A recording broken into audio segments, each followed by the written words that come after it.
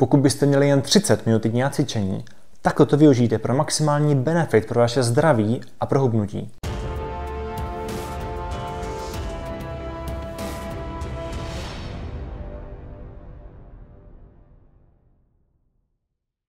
Spousta lidí stále říká, že nemají čas cvičit, prostě nejsou schopní zahrnout cvičení do svého života a do svého dne. Co ale, kdyby stačilo najít si pouze jedenkrát týdně půl hodiny času? Existuje totiž jedno cvičení, které stojí nad všemi ostatními. Ve smyslu benefitu pro naše srdce všechny chronické choroby, včetně rakoviny, redukci zánětu v těle, zdravý metabolismus a také hubnutí a pálení tuku. Toto cvičení vypadá tak, že tělo dostáváte do vyšších otáček, asi do 80 až 90% naší maximální tepové frekvence v intervalech, které trvají asi 3 až 5 minut. Tohle je ukazatel maximálního počtu tepů srdce za minutu. Ale v tomhle bodě ho nepotřebujete vědět a vrátím se k tomu na závěr pro zájemce. Se týče intenzivních intervalových tréninků, možná někteří z vás znají takzvaný HIT anebo tabátu.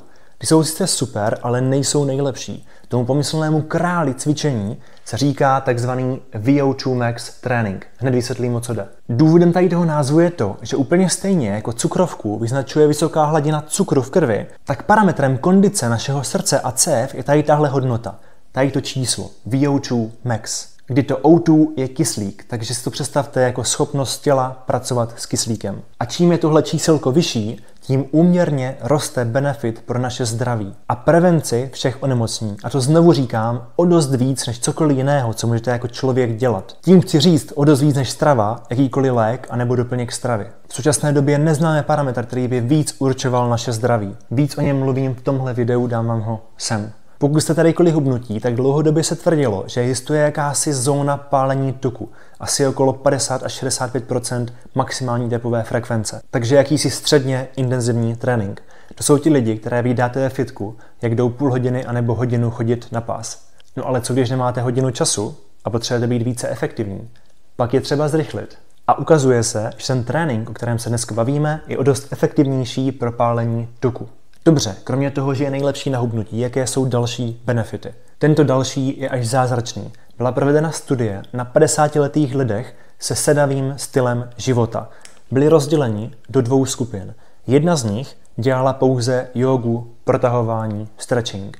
Druhá z nich dělala tady ten náš ďábelský VO2 Max Training a to pouze jedenkrát týdně. Celková aktivita tam byla asi 5 až 6 hodin, dělali i nějaký silový trénink a tak dále. A po dvou letech tady toho programu se jim strukturálně změnilo srdce.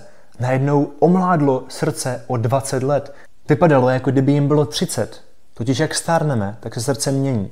Stvrkává se a tuhne. A to má samozřejmě vliv na mnoho onemocnění. Ale tento typ tréninku, žádný stres, máte 50 a sedavý styl života, začnete cvičit, jednou týdně tady ten VO2 Max trénink a o 20 let mladší. Takže nikdy není pozdě začít cvičit. Další benefit. Pro některé lidi má stejný vliv na snížení krevního tlaku, jak některé léky. Navíc to má prokázaný vliv na prevenci rakoviny a pomáhá také, pokud se rakovina vyvine.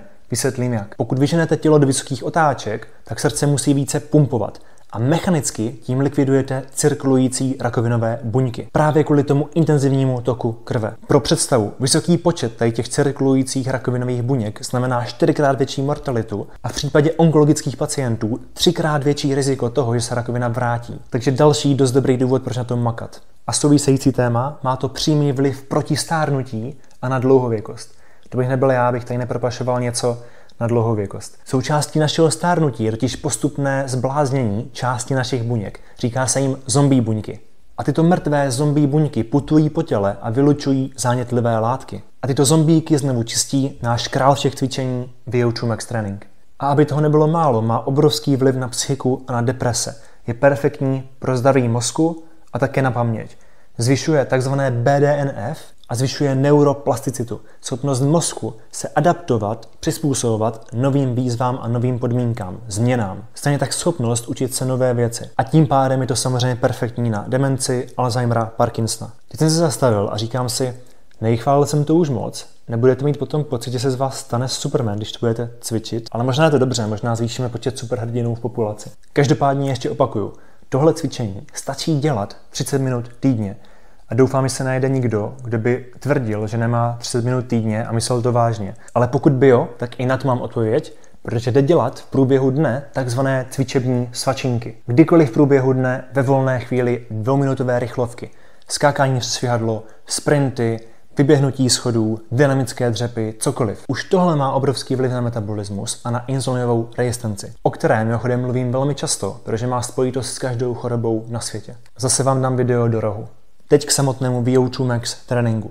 Kde to cvičit?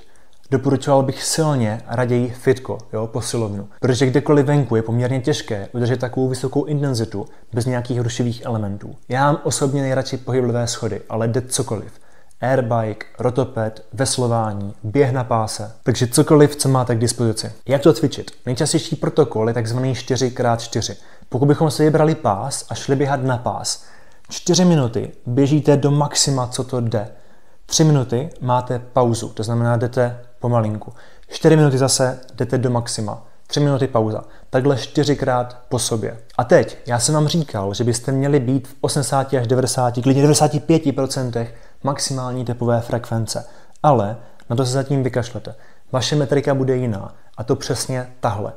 Pokud ty 4 minuty, co budete běhat do maxima, nebo budete na airbikeu, nebo budete na těch pohyblivých schodech, tak si řeknete, a asi bych ještě chvilku dal, asi bych ještě dal i větší obtížnost, tak zjistíte, jasně, byli jste asi níž, než jste měli být.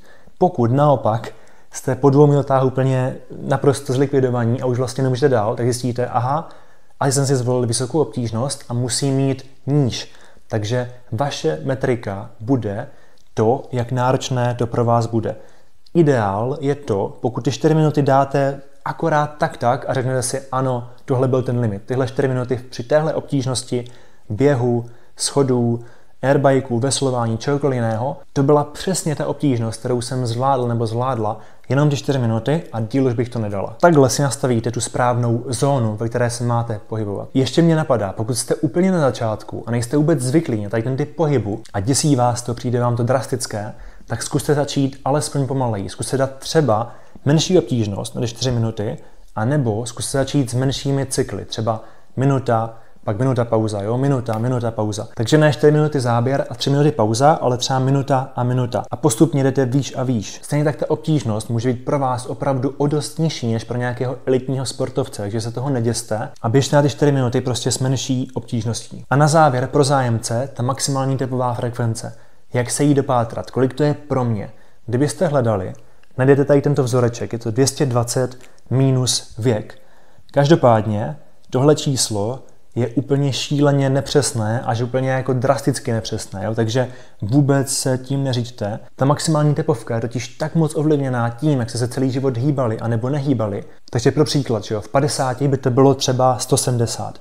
Jenomže člověk, který nikdy necvičil a člověk, který cvičil celý život, jejich čísla se můžou lišit třeba o 40 čísel, úplně šíleně moc. Takže srdce člověka, který celý život cvičil, dokáže dosáhnout o dost vyšších maximálních tepů. Ale pokud byste přece jen to číslo chtěli vědět, tak existují chytré hodinky, které ten tep snímají. Ale ty stále nikdy nebudou tak přesné jako hrudní pás, který to snímá o dost stabilněji. Takže s tímto pásem byste šli do maxima zjistit ten maximální tep. A část B pro zájemce. Já jsem totiž říkal, že to VO2 max je číslo, je to parametr, který jde měřit. A pokud byste ho chtěli vědět přesně, tak vám nezbývá, než jít do laboratoře si ho nechat změřit. A bez laboratoře pro nějaký hrubý odhad existuje takzvaný 12-minutový běh. 12 minut běháte po páse po rovné ploše maximálním tempem, co dokážete, a dle vzdálenosti, kterou uběhnete, máte VO2 max číslo. To je za mě všechno a pokud by někoho zajímalo, jak by vypadal takový ideální komplexní tréninkový plán zaměřený na zdraví a na dlouhověkost, tak video dávám tady do rohu. Tak se mějte skvěle, budu rád, když budete video sdílet s někým, komu by ty informace mohly být užitečné a uvidíme se u dalšího videa.